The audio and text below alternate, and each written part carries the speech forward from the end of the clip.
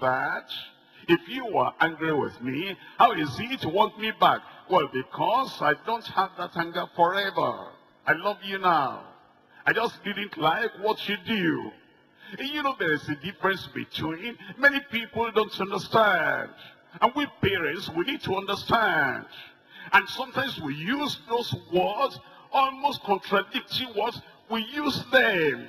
Love and hate in one sentence. My boy, I love you, but I hate what you're doing. You see that? I hate the people you are running with. I hate the gang you have joined, but I love you. And that's what God is saying, yes. I don't like what you did, but I love you. I love you. And I'm going to pass by your transgression. Come back unto me. The promise of restoration. In verse 19, he will turn again.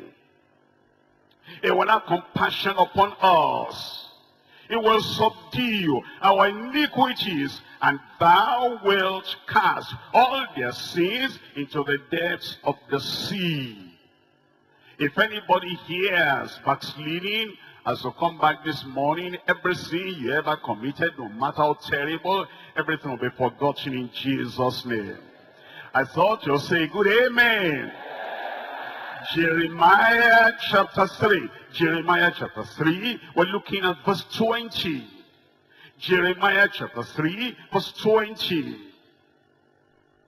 Surely as a wife treacherously departed from her husband, so have ye dealt treacherously with me, O house of Judah, says the Lord.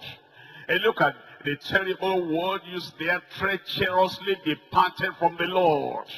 And then in verse, in verse 21, a voice was heard upon the high places, weeping and supplication of the children of Israel for they have perverted their way. That means they have gone away from the Lord. They perverted their way. And they have forgotten the Lord their God. They have forgotten the Lord their God. Any hope for them? Any hope for you? Of course, yes. Verse 22. Return, ye backsliding children. That, that, that's it, that's it. Return, ye backsliding children and I will heal your backslidings. Have you seen the backsliding there? Plural, plural, backslidings.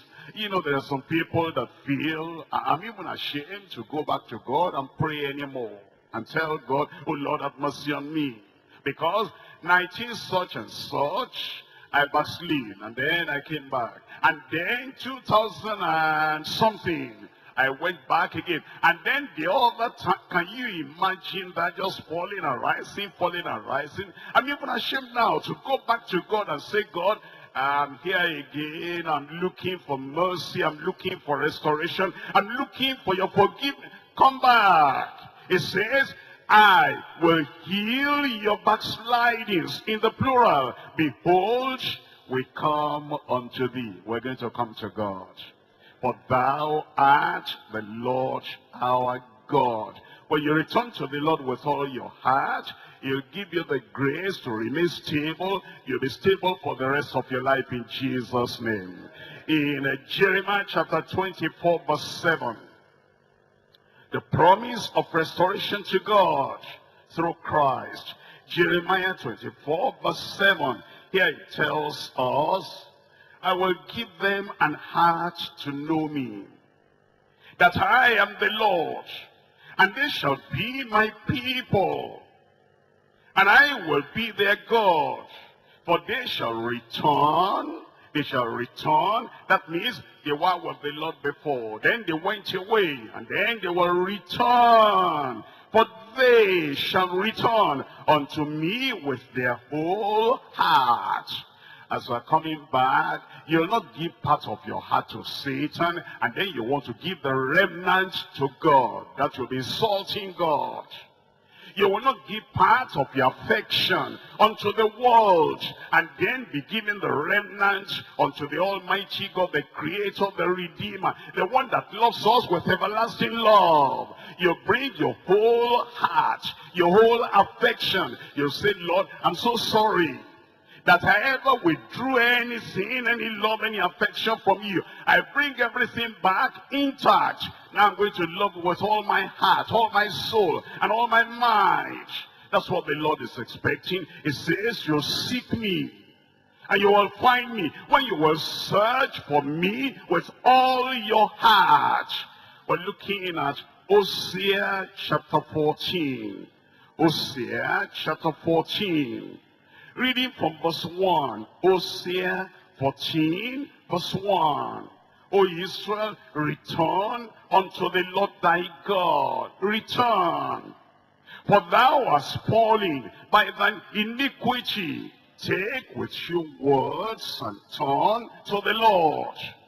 Say unto him, Take away all iniquity and receive us graciously take away all iniquity and receive us graciously. And you see how he's even teaching us how to pray. You see, I want to come back to God. I don't want I don't want to tell God I'm dumbfounded. I'm just I'm just done. My sin, my backsliding shuts my mouth up. Okay, if you don't know what to say, Take with your words, verse 2, turn to the Lord and say, this is what you have to say. Take away all iniquity. That, that's all you say. Oh Lord, iniquity stops my mouth. Sin shuts me up. It embarrasses me. I don't even know how to face you again. But Hosea has taught me how to pray. Take away all iniquity and receive me graciously, graciously. Verse 4, I will heal their backsliding. I will love them freely, for mine anger is turned away from him. That means then he has favor now, and he has mercy. And he asks the Lord to bring you back into fellowship and relationship with him. Ezekiel chapter 18. In Ezekiel chapter 18, verse 30, Therefore I will judge your house of Israel, everyone according to his ways, says the Lord God. Repent, turn yourselves. You see how God started? God said, judgment is coming, judgment is coming. And judgment is running fast. And if you remain in that wilderness of backsliding, judgment is running so fast, it will catch up with you. But, repent. Don't go a step further in your journey in the wilderness. Repent and turn yourselves from all your transgressions, so iniquity shall not be your ruin. Cast away from you all your transgressions, whereby ye have transgressed and make you a new heart and a new spirit. For why will ye die, O house of Israel? We will not die. We shall live. Eh, because it's so simple, just turn around and say, Lord, thank you, you've been waiting for me. I was the one delaying. You wanted me to come back so many years, so many days ago. But now I come, I come. And then it says, For I have no pleasure, but 32, in the death of him that dieth, says the Lord God. Wherefore turn yourselves and live ye. Turn yourselves and live ye. That's the promise. In First Peter chapter 2, verse 25. First Peter chapter 2, verse 25. We were, this past tense now, we were as sheep going astray, but are now returned unto the shepherd and bishop of our souls. Well, why in the past? A sheep going astray. We departed from the Lord. But now, it says, we're now returned unto the shepherd and the bishop of our souls. And as we return, the Lord will receive everyone. I said the Lord will receive everyone. Now we come to point number three, the plan of reunion with God's children. It is wonderful as we come back to God. Sins are forgiven. The iniquity is taken away. The condemnation is gone. In the courts of heaven, there is no remembrance of anything we ever did wrong. We're now in favor with God. But now, we come, we're still here on earth. And we still have to live with these brothers and sisters here. And the reunion with God's children, that's part of the great relationship. You remember the prodigal son? He went away to the far country. And without us living, he spent everything that is God. Then he came to a famine, a local famine, a personal famine that he came to. And then he came to himself. And he said, how many hired servants of my father are eating? They have enough to eat and to spare. And I'm dying with hunger in this place. I'll take the first step. Whatever will happen, I'm going to do something. I will return. I will go unto my father. I will say to my father, the father loved him. The father wanted to give him mercy, but you know, the father is not going to leave when he wants to go to the far country. The child knew the way back home. And we all know the way back home. We know enough Bible to know the way back home. And that's what I've just told you. The mercy of God waiting for you. The love of God waiting for you. The compassion of the Lord that faileth not. Waiting for us. And we know the way back home. So he said, I know the way back home. I'll go back home. And he came back home. And then his father, uh, he was trying to confess his sin. He was trying to, I'm not worthy, make me a servant. And the father did not even allow him to finish the confession, embraced him and, and loved him and changed his clothes. He came into fellowship with the father. And then the senior brother, the elder brother was coming. He was hearing the celebration and the rejoicing. He asked somebody, what's happening back at home? Oh, they said, your younger brother has come back. And your father is so happy. Is that so? Then, now you need to re-establish the fellowship between the elder son and the younger son. That's very important. We need to be in fellowship with one another.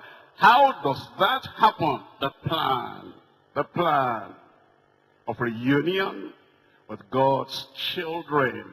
In First John chapter 1. First John chapter 1. I'm reading from verse 1. That which was from the beginning, which we have heard, which we have seen with our eyes, which we have looked upon, and our hands have handled of the word of life. For the life was manifested, and we have seen it and bear witness and show unto you that eternal life which was with the Father and was manifested unto us. That which we have seen and heard declare we unto you, that ye also may have fellowship with us. We declare it to you so that you will have fellowship with us. Our fellowship is built on a declaration.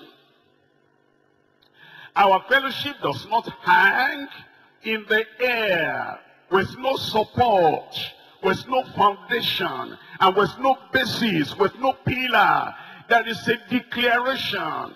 What we have heard, what we have seen, what we have experienced, what we have known, this word of life will declare it unto you that you will have fellowship with God and have fellowship with us. And it's always like that. Fellowship between children of God must be built on scriptural foundation and declaration.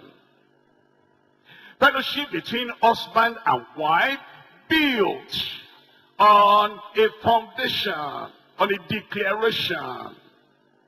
Fellowship between us and a fellow brother, a fellow sister built on a foundation. We cannot just be hanging the fellowship in the air with no support, with no declaration. That which we have seen and that which we have heard, declare we unto you that she also may have fellowship with us. And truly, our fellowship is with the Father and with the Son, Jesus Christ. And these things write we unto you, that your joy may be full. This then is the message which we have heard of him and declare unto you that God is light and in him is no darkness. And then it says, if we say we have fellowship with him and walk in darkness will lie and do not the truth. That means then, as we're going to have fellowship together, you first of all, you get into fellowship with God. We want to make sure that you have fellowship with God so we can have fellowship with you. Because we have a commitment not to fellowship with the unfruitful works of darkness. We have that commitment already.